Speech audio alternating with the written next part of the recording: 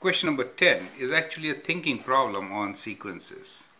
It says, determine the value of the first positive term of the sequence minus 193, minus 189, minus 185, minus 177 and so on. Also state which term produces it. Well, now explore this sequence. It says you're going from minus 193 to minus 189 to minus 185 to minus 177. Now, how do you go from one term to the other? They are increasing, right? Less negative means increasing. So you add something. How much do you add? So if you add 4, you get this term, right? So each time you add 4 and you get the next term, correct? Now, so to get it positive, you should add at least 193, right? And those will be multiples of 4s which you add. This is, you are adding 1 time 4. So when you add this here, let's first write down the term numbers, right? So we, this is term number T1, correct? This is term number T2, this is term number three, 3 4 and like. Now if you go to term number T1, right, how many from T1 to T1, T2, how many times do you add 4? 1 times. So you add 4 1 times, right? So let me say 4 is added 1 times. How many times is 4 added when you go to T3? 4 is added 2 times.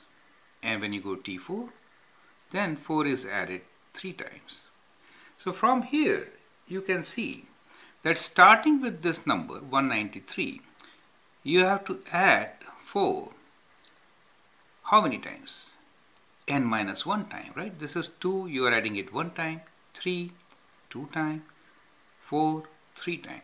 So in general, you can write this as add 4 n minus 1 time to get to tn, right? To get to tn, correct? And start at minus 193. Start at 193. Does that make sense? So you start at this and then you keep on adding 4s. You add 1 4 to get to the second term. You add 2 4s to get to the third term. 3 4s to get to the fourth term. That means number of 4s you are adding is 1 less than the term number. So we get n minus 1 4s. Do you understand the formula now? And starting at minus 193. Correct. So that is how you get your general formula. Now the question here is, determine the value of first positive term. So when will you get your first positive term? If you add 193, you get 0, right? So this should be at least 194, correct? At least 194 to make it positive. So we have to solve for that inequality, right? Let's do this. So it's like coming from backwards calculation, right? So we say 4 times n minus 1 should be at least greater than equal to 194, right? If I do that, then if I add 194 to 193, it becomes positive, right? Let's divide by 4. So we say n minus 1 should be greater than equal to 194 divided by 4. Is that okay?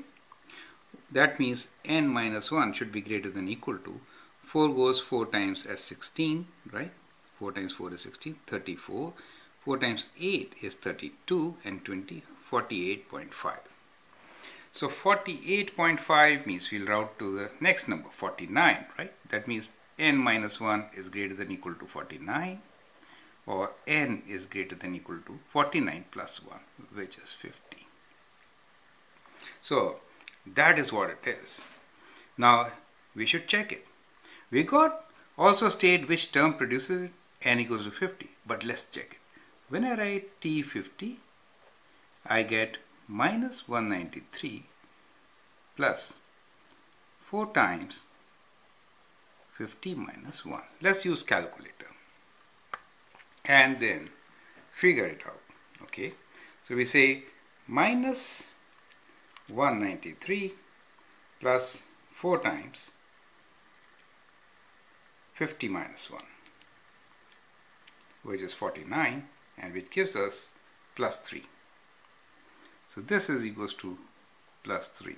So we do get a positive number and the positive number value is plus 3 and that is 50th term.